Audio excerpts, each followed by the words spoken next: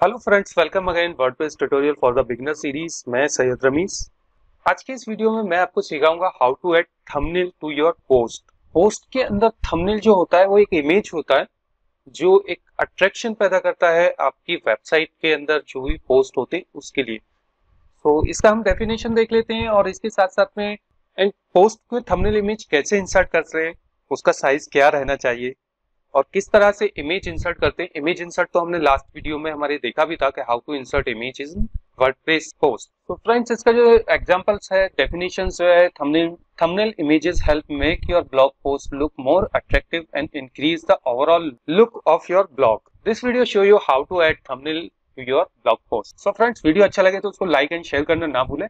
चलते हैं हमारे वर्डप्रेस डैशबोर्ड की ओर।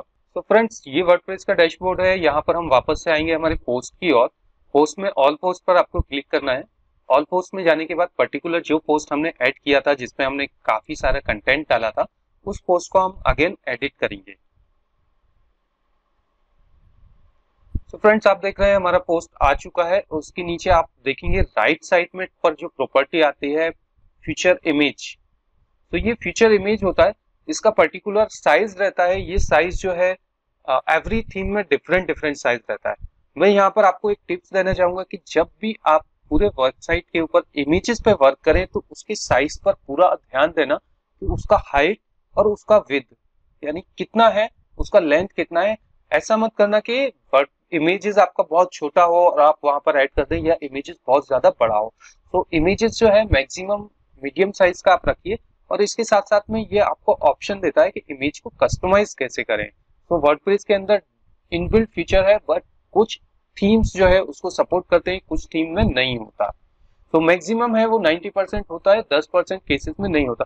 तो यहाँ पर आपको करना होगा सेट फीचर इमेज पे क्लिक यहाँ पर आप सेट फीचर इमेज पे क्लिक करेंगे तो आप देखेंगे यहाँ पर एक न्यू पॉपअप विंडो ओपन हो जाता है।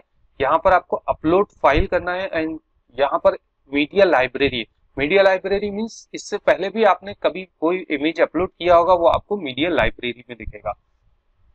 तो यहाँ पर हम सिलेक्ट फ़ाइल करते हैं। अभी आपका इमेज किस लोकेशन में है, आपके कंप्यूटर के अंदर, वो आपको यहाँ पर देखना रहेगा और यहाँ से आपको इस इमेज को सिलेक्ट करना रहेगा जैसे यहाँ पर आप देख रहे हैं, मैंने एक इमेज डाउनलोड किया था लास्ट वीडियो में भी आपको ये इमेज दिखाया था और इस इमेज को मैंने अपलोड कर दिया। तो जैसे ही आप यहाँ पर इमेज अपलोड करेंगे तो आपको यहाँ पर ये इमेज प्रिव्यू भी हो जाएगा, उसका साइज़ भी यहाँ पर दिखा रहा है। साइज़ दिखाने के साथ साथ में उसका टाइटल आप दे सकते हैं एल्ट एट्रीब्यूट दे सकते हैं। एल्ट बहुत इंपॉर्टेंट होता है। तो इसको मैं आगे आने वाली वीडियो जब हम एस e पे ऊपर वर्क करेंगे, तब वहाँ पर हम देखेंगे कि किस तरह से इमेज का इंपॉर्टेंस रोल है। तो कैप्शन आप छोड़ सकते हैं डिस्क्रिप्शन आप छोड़ सकते हैं। टाइटल भी आप दे दीजिए तो अच्छा है बट प्रेजेंटली आप इधर टाइटल नहीं दे रहे and set future image button पे क्लिक करेंगे। सो so आप देख रहे होंगे, यहाँ पर ये इमेज अपियर हो गया है। इसको अभी हम सेव कर देते हैं। मीन्स अपडेट कर देते हैं। अपडेट पे क्लिक करने के बाद इस पोस्ट को हम पर्टिकुलर पोस्ट को व्यू करेंगे। यहाँ से हम राइट क्लिक करते हैं। Post view in new tab तो यहाँ पर आप देखेंगे फ्रेंड्स ये हमारा पोस्ट है। इन पोस्ट के ऊपर जो हमारा इमेज आ रहा है, ये थंबनेल इमेज से आ रहा है। एंड अभी इसके बाद हमारा नीचे का पूरा पोस्ट स्टार्ट हो जाता है। तो ये हमारा पोस्ट थंबनेल है। अगर आप लैपटॉप कैटेगरी पे, ऊपर जो कैटेगरी आ रहा है, वो हमारा लैपटॉप है, यहाँ पर देखेंगे तो जो हमारा पोस्ट दिखता है, वो इस तरह से दिखता है। अभी हम कमन जाते हैं फिर हमारे होम पेज पर, और होम पेज पे जाने के बाद यहाँ पर देखेंगे कि हमारा पोस्ट किस तरह से दिख रहा है। सो ये देखिए, हमने चार पोस्ट बनाए थे, किसी में भी कंटेंट नहीं डाला। यहाँ पर जो हमारा लास्ट पोस्ट है, यहाँ पर ये कंटेंट डाला है। तो अभी हमारा वेबसाइट का जो लुक एंड फील है, वो काफ़ी अच्छा दिख रहा है। बट यहाँ पर जो एक कमी मुझे नज़र आ रही है कि ये हमारा पूरा कंटेंट जो हमारा पोस्ट है, उसका पूरा कंटेंट डिस्प्ले करा रहा है। बट इन केस यहाँ पर ये पूरा कंटेंट डिस्प्ले नहीं कराना चाहिए, यहाँ पर ये शॉर्ट कंटेंट डिस्प्ले कराना चाहिए और उसके बाद ऑप्शन देना चाहिए रीड मोड का।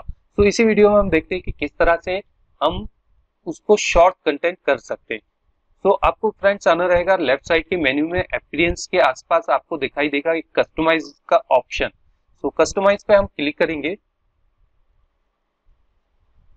कस्टमाइज पे क्लिक करने के बाद आपको यहाँ पर दिखाएगा theme option so theme option पे आप क्लिक करिए। यहाँ पर देखिए आप थीम ऑप्शन पे क्लिक करेंगे, यहाँ पर आपको बहुत सारे ऑप्शन हैं। लास्ट ऑप्शन आपको दिखा रहा है on art page post show full text full text जो है हमारा सिलेक्ट है, इसको हम समरी पे कर देते हैं। एंड समरी पे करने के बाद ऊपर पब्लिश बटन जो है, उस पब्लिश बटन पे आप क्लिक कर दीजिए। एंड अगेन लास्ट ऑप्शन कि इस कस्टमाइजेशन से हम बाहर निकल कर आ जाते हैं। तो अभी हमारा जो पेज है होम पेज जो है, इसको हम रिफ्रेश कर लेते रिफ्रेश करने पर अभी हमारा लास्ट का जो पोस्ट है, देखिए, यहाँ पर जो लास्ट का पोस्ट है, जो हमारा फ़र्स्ट पैराग्राफ है, वो यहाँ पर रीड कर लिया। और उसके बाद ये डॉट डॉट डॉट दे दिया है, जिसका इंडिकेशन होता है कि इसको रीड मोर करना है। अगर आप पोस्ट पे क्लिक करेंगे पर्टिकुलर पोस्ट पे, तब ये आपको पूरा पोस्ट दिखाई देगा। तो इसका बेनिफिट क्या है कि आपका जो ब्लॉग पोस्ट है उस पर आपका क्लिक थ्रू रेट भी बढ़ता है। क्लिक थ्रू रेट क्या है? ये आप जब एस करेंगे, तब हम उसको सीखेंगे। सो so फ्रेंड्स ये था हमारा एंड ऑफ़ द वीडियो कि किस तरह से इमेज को थंबनेल इमेज हम वर्डप्रेस के अंदर ऐड करते हैं। वीडियो अच्छा लगे तो उसको लाइक एंड शेयर करना ना भूलें। मिलते हैं नेक्स्ट वीडियो में। Thank you for watching our video have a nice day God bless you good bye